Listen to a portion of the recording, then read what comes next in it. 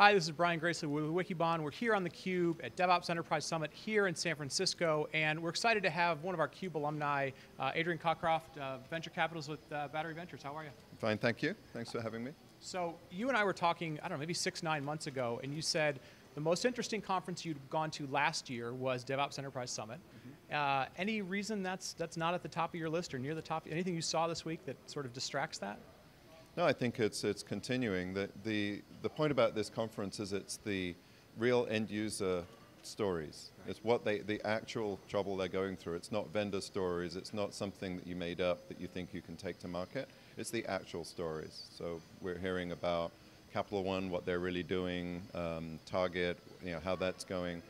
Um, I told a lot of people last year to, you know, over the last year to go watch uh, Mark Schwartz's um, Department of uh, Homeland Security talk and the Target and the Nordstrom talks. And just, you know, there's a huge amount of value there. Everyone says, okay, I want to do cloud or DevOps or microservices or something. How, does, how do I do that? Says, well, here's real examples of people as they've gone through that process. Right. And that was very, very powerful last year. I'm seeing it continue this year. It's, it's moving on a bit. There's more people um, with more successes, but I, and it's a bigger conference, I think, but it's uh, still, you know, everything's moving in the same direction. Yeah, we, we, it's been an interesting couple of weeks. I mean, we had, you know, you were at the AWS reInvent show. Uh, they're continuing to grow like crazy. We're seeing more enterprise customers there. We had the whole Dell EMC merger thing, which is, you know, signals something about what's going on with legacy. And now we're, you know, we're at this event. It's only, you know, a thousand people, but double last year, and we're seeing, you know, those things that you've been talking about with the Netflix culture, the Netflix way of doing things rationally. What, what's your overall take? I mean, is it, are we just really seeing this huge inflection point kind of for everybody? I mean, you, you've been seeing it for a long time. I think ideas, I mean, when you come up with ideas, they're strange and people push back and it sounds crazy. And I, a lot of the time when I did the, like in 2010 when I first started talking about what Netflix was doing, there was a lot of, you guys are crazy kind of responses. Um, and you're unicorns and no one will ever want to do this. Um, and over time, things just become the, the, new normal, right? So things get sediment, the good ideas get traction. So I was at um, a, uh, in Wall Street, uh, sorry, the Wall Street comes and visits Silicon Valley regularly. So we had um, JP Morgan Chase doing a, an event last week in um, along Silicon Valley, you know, for VCs and startups really. They have a little summit. And they were talking about how they're running Chaos Monkeys and they're kind of cloud native and they're going to start using AWS and all the things that you thought that would be a crazy thing for a bank to be saying a few years ago are all popping up on their slide deck. So that, I think for me that's, um, it just shows how the, these things have become practice and people have figured out that why they're important. They speed things up, they make you more agile, they save you money, they're whatever reasons people have. But there's a big transformation going on and it's being driven a lot by kind of an existential threat where you know they think you know if the Wall Street banks don't do something, you know the Bay Area, the Silicon Valley startups will go and do something right. and take them out, right? Right. Well, and we're seeing people say, hey, they're going to start hacking finance. That that whole industry might get disrupted. You know, we're seeing Square and some others, but there's lots of yeah. fintech behind that. Um, you know, we're watching the keynote this morning, or one of the keynotes, uh, Capital One got up on stage. Um, Capital One is, is one of a number of companies we've seen this summer who are really using their platform to go talk about recruiting and talk about open sourcing stuff. And um, you know, and one of the things they, they sort of talked about was they just did a big internal, uh, basically a big internal event, similar to this. And, and there weren't any vendors there. It was all just the services they do. They're open sourcing their own technology. As a, as a venture capitalist, uh, what is, you know, you've got to think about people that are going to go build technology that maybe want to sell to them how do you rethink that when you're hearing this over and over, you know, Target, Nordstrom, uh, Capital One? Well, what I do, I mean, I'm, i work for a VC firm, but I have a slightly different role. I'm much more outbound. And one of the things I do is I go talk to companies. So I, uh, I met with Capital One last year, and then I went to one of their, that wasn't that big meeting, but they had a, a smaller meeting. I visited their lab, So I spent some time with them earlier this year and got to know them and their team.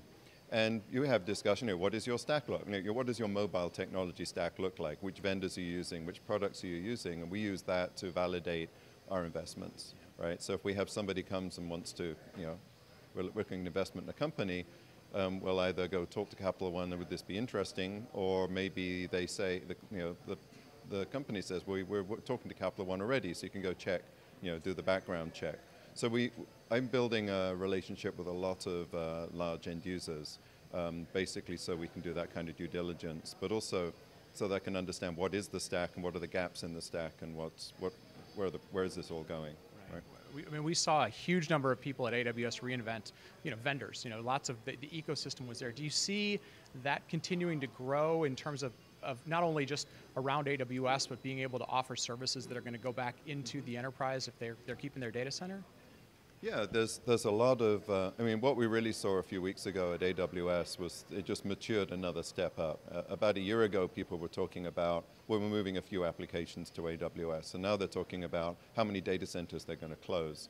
And out of those data centers, you're going to be having a, you know, a few things will move to a different data center, there's a few things that get turned into SaaS applications, and whatever's left, they put up on AWS. And you saw Accenture coming out with a big deal where Accenture probably runs your data center today, so you switch to Accenture running, running your, your cloud migration and doing that. So I think they're just setting up with all of the, that's the demand AWS is seeing. And, and I think people are realizing that you, it's pretty hard to come up with something that you build yourself that can compete now with a public cloud vendor. Um, used to be, well, I have this specialized hardware need. Well, so next year they've got an, an instance with you know, over 100 cores and two terabytes of RAM coming on AWS. And it's like, okay, mm, maybe I don't need to build a big, I don't need to do it just to build a bigger machine, right? Yeah, I, you know, I, I, was watching your talk uh, this week. You, you, know, you, it was kind of weaved in system thinking as well as some of the Netflix stuff. I went back and did a little bit of looking. You know, Netflix is up 4x stock price wise over the last four or five years, which is kind of the space you've been talking about it. Uh, 62 million customers, which means they're doing 62 million. 69 million. All right, 70 million credit card transactions a month. I mean, it's it's hard to, to I, I wonder like, are people going to keep dismissing the Netflix thing and say, well, it's not the enterprise, or are we going to start saying, well, let's just replace the Netflix story with what Capital One's doing or tar-? I mean, is that, do you think that helps this movement? It certainly helps that there are more stories and there are more varied stories. Um, you can look on, a lot of people now talk about Internet of Things, and if you think about uh, Netflix, it's really an Internet of Things company where the things are TV sets right? And there's a lot of traffic back and forth, and they're managing this huge collection of things in people's houses. So it is actually, in some senses, the software that we built is the right pattern for all of these IoT, mobile, customer engagement. So you talk, people are talking, talking more about systems of engagement with their customers, and that's what the Netflix architecture and what we're talking about is. So that it applies to wherever you see a systems of engagement type of problem. Right. I, you know, sort of last question. I know when we were at reInvent, uh, you know, a lot of talk about IoT. Uh, you know, they had a platform, but we were seeing customers, especially in, in the manufacturing industry, whether they were, you know, fleets of trucks or uh, tractors. tractors or robots on the plant floor. Do you think we're going to start to see that more and more become the next part of this mainstream thing? How far along do you feel like that is in, in the industry, or, or you know, hype cycle versus reality? I think the, the key thing here is that instead of building a tractor or a car and delivering it, and then a few years later you deliver another one, um, we're getting to continuous feedback. So uh, you know you can describe a Tesla as a, you know, a laptop on wheels. Right. It's with web services, right? So I think the, the, the interesting point there, if you look at the, um, the you know the autopilot things that Tesla recently rolled out, it's different to what other manufacturers have rolled out because the cars are feeding back to Tesla all the time and they're learning and getting better. And when you build a SaaS-based backend, which is what they really are, um, with all of your end users feeding data into it, you just get better and better. This is why Netflix has better recommendations because it's got you know 60, 70 million customers that they're aggregating everything for. So anytime you can take a standalone on-premise service and turn it into a SaaS service, it turns into a better product. And we're seeing a lot of transitions in that space. And it's not you know, it applies to IoT, it applies to consumer and business and everything really. Yeah, yeah. I, I think I'd seen a, a, quote from you at one point. You said, you know, Netflix is a, a you know, ten million dollar monitoring service that just happens to send out movies or something like that. You know, th- this I, whole mechanism. I didn't say dollars, but yeah, it's. Um, but but, but in essence, it was the, the, feedback you can now get around products is so real time. It's so rapid. You, you should be collecting yeah. everything. Well, yeah, that's just internally at Netflix. Their monitoring system consumes most of the budget. actually, um, ridiculously large percentage of the budget, in fact. But you know, and um, you've seen Roy Roy Rapoport talk about that as well. But yeah, it's that that's part of just knowing what's going on and keeping building a reliable system. It ends up the monitoring system is as important or more important than the thing itself, right?